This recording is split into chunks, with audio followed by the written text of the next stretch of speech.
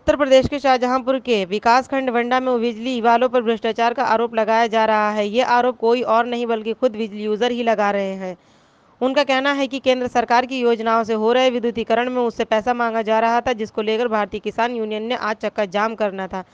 जब एवीएन की टीम पहुँची तो विद्युत विभाग हरकत में आया और आनंद फानंद में लाइनें बिछाने लगा। तो भारतीय किसान यूनियन का आज चक्का जाम था, जिसे आज टाल दिया गया। पूरा मामला विकास खंड वंडा के गाँव अजमतपुर का है। ये यहाँ पर तीन साल से लोग बिजली को लेकर संघर्ष कर रहे थे। समाज सेवी संगठनों और एवीएन की कोशिशों के बाद आज विद्युतीकरण का काम शुरू कर दिया गया है। साइट इंजीनियर का कहना है कि उनकी पोस्टिंग अभी हाल ही में हुई है। उससे पहले कौन रिश्वत मांग रहा था, इसके बारे में उसे जानकारी नहीं। दीप शर्मा पहुँच चुका हूँ अजमतियापुर में। यहाँ पर आज भारतीय किसान यूनियन का चक्का जाम था। लेकिन यहाँ पर विद्युत विभाग की तरफ़ से काम शुरू हो गया है। अब जानते हैं इनसे कि क्या आगे की रणनीति इनकी क्या है?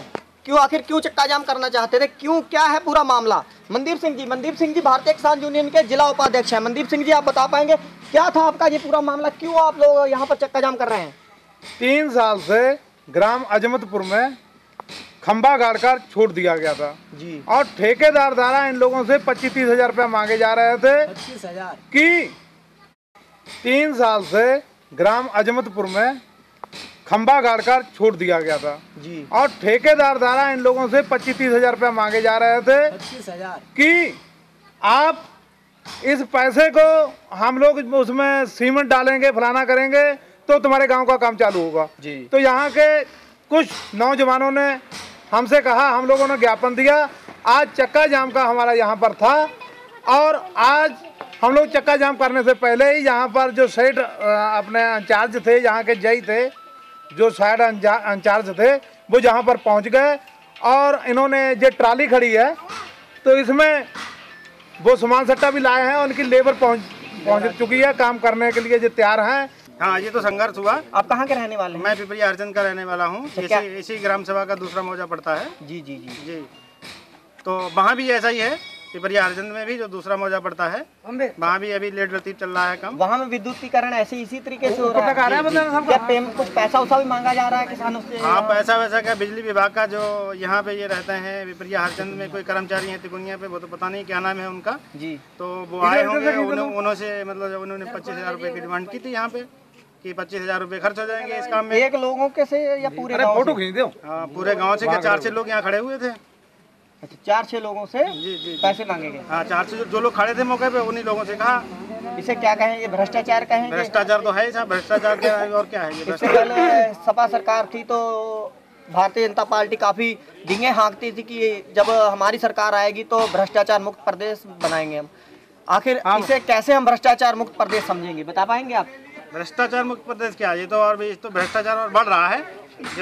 हम मानते हैं इसे बढ़ावा मिल रहा है भ्रष्टाचार बिल्कुल भ्रष्टाचार का बढ़ावा मिल रहा है। इसमें तो भ्रष्टाचार बढ़ रहा है खत्म होने का क्या मतलब है? खत्म हो ही नहीं सकता इस तरीके से तो। चलिए बहुत बहुत धन्यवाद। भाई साहब बता रहे हैं कि इसमें भ्रष्टाचार इसे ग्राम विद्युतीकरण के नाम से यह योजना चलाई जा रही थी राजीव गांधी विद्युत योजना के तहत। मैम कैमरामैन से कहूँ दिखाएँगे कि ये ट्राली आ चुकी है यहाँ पर काम के लिए। इससे पहले भी आपको बता बता दूँ कि इससे पहले भी कई समाज सेवी संगठनों ने इसके लिए धरना प्रदर्शन किया था। लेकिन यहाँ पर विद्युत विभाग और इन लोगों की मिली भगत से इन्हें काफ़ी संघर्ष करना पड़ा। मैं उन्हीं लोगों से जानना चाहूँगा। भाई साहब आप कौन ए, क्या पद पे हैं इस वक्त? आप बता पाएँगे साइड इंचार्ज साइड इंचार्ज जी आपसे जानकारी चाहेंगे जी किस विभाग के द्वारा ये बनाया जा रहा? है आखिर इतना लेट क्यों हुआ ये मामला पूरा? ये मामला लेट अभी हमारे उसमें आया है प्रकाश में यहाँ का। अभी हमें सूचना नहीं मिली थी। अभी इधर पे तीन चार दिन पहले हमारे पास सूचना आई उसके बाद हमने काम स्टार्ट किया है। आप अपना नाम बता सकते हैं सर? सत्येंद्र सिंह। अच्छा किस जोन से हैं? Post post. Site incharge. Side incharge. इसी राजीव गांधी योजना के तहत। इसे राजीव गांधी योजना के तहत बनाया जाना था जो काफ़ी लेट लीप के बाद कई संगठनों के चक्का जाम धरना प्रदर्शन के बाद आखिर सरकार की नींद खुली है। मैं अपने कैमरामैन अनूप कुमार के साथ ब्यूरो रिपोर्ट